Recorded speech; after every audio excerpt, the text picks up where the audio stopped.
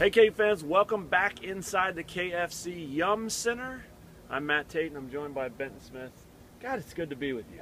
Wow, I feel like I'm just with you everywhere I go these days. You are. It's like I went to Des Moines last week and you were there. I Right. don't, I don't get it. I was at Kansas City the weekend before that. You were there. Hanging out. Yeah. I feel like I saw you in my hotel room at some point. You were there. Oh, You were there. jeez. A lot of work. It's a little done. much. Yeah, I'll give you that. That's fair. Too much for anybody to handle.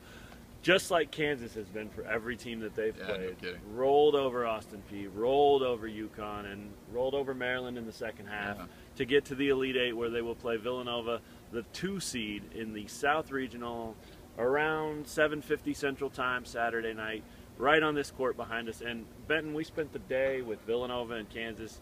Uh, the, the longer this tournament goes, the more access you get to these guys. Not necessarily in terms of time, but they broke out the five starters for each team today. You get a little more one-on-one time with them. It's not just everybody converging on a tiny locker room and trying to make it happen. So I think I learned a lot about both teams today, and, Yeah. and obviously we already know a ton about Kansas, but I think as this goes on, you even learn more about them. What did you learn today about Villanova, about this matchup that, that has you kind of uh, intrigued or fired up or whatever the case is?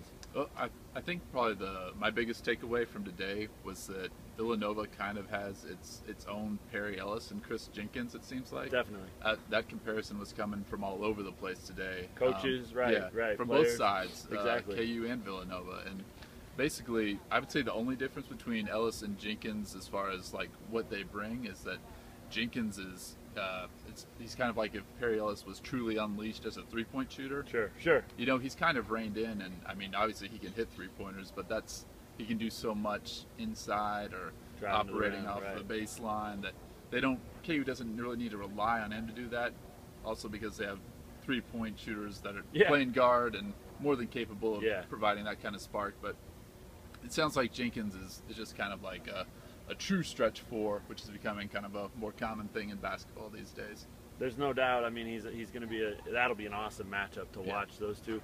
Uh, how much time they spend guarding each other, nobody knows yet, but probably quite a bit. And, and I think obviously the guard matchup is really good here. Uh, the, the KU's guards, you know, but Josh Hart's very good. The the Archie kid that they call Arch, uh, you know, who hit the big shot a couple of years ago to beat Kansas.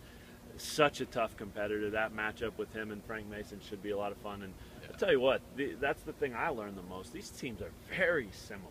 Yeah. Veteran teams, tough teams. They play tough defense.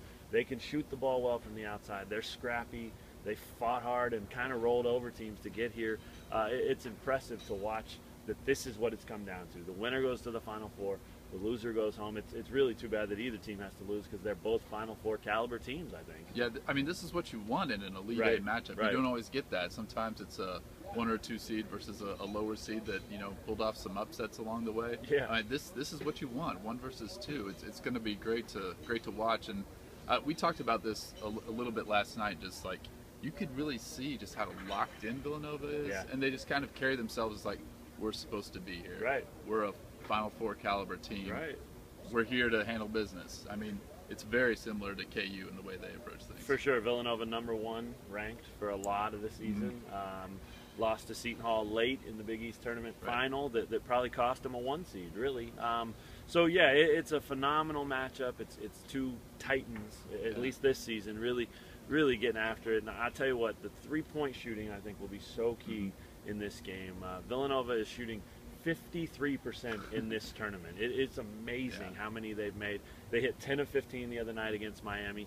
Uh, KU shooting very well too. Uh, it's incredible how well both of these teams have shot from the outside, and I think that will be one of the biggest keys. If Kansas can slow Villanova down the way they did Mhm. UConn, the way they did Maryland, um, th- then I think Kansas has a great chance to, to move on. And, and there's no reason to think that they can't. KU has played very, very solid defense the, the last two months, really, um, and, and certainly in this tournament as well. Uh, I, I think that that's, you know, KU, I think, gives up about 32% shooting three point range, and, and Villanova gives up almost 34%. So if you play the averages, and that's built over 37 games, not just one game, you know, the advantage there goes Kansas's three point defense, just a little bit. But uh, those things are, are so far removed from what matters now. What matters now is which team shows up ready to play Right. and answers the bell and plays better. if Villanova hits 10 to 15 shots again from the outside, they're probably going to win. You know, so that's a huge thing to watch. Along with Jenkins and Ellis, those are two big, big matchups. So is the matchup with Landon Lucas and Daniel. Say it. Ochefu. There he is. Yeah, the big guy. I kind of forgot it. We'll call him the big guy. yeah, we'll call him the big guy. Big matchup there. Yeah. He had his way with the Miami forwards the other night. They Right. dumped the ball down to him, and he did the old man in the driveway move. Just Yep. Old backed school, him back down, him down. throw it in, back him, and it looks so easy. I don't think Landon Lucas gives up that kind of ground. No, and, and KU wouldn't be so passive in their approach to defending that. Uh, Totally. Lu- that, that would start with Lucas. He would defend it better, but also if Guards Jeffy diving, does yeah. get into the paint, there would be help there quicker. They would adjust. Miami didn't really make that adjustment.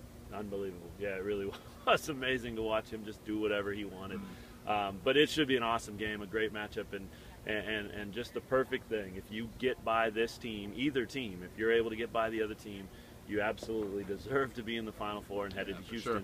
So we will find out who it is. Who are you going to pick?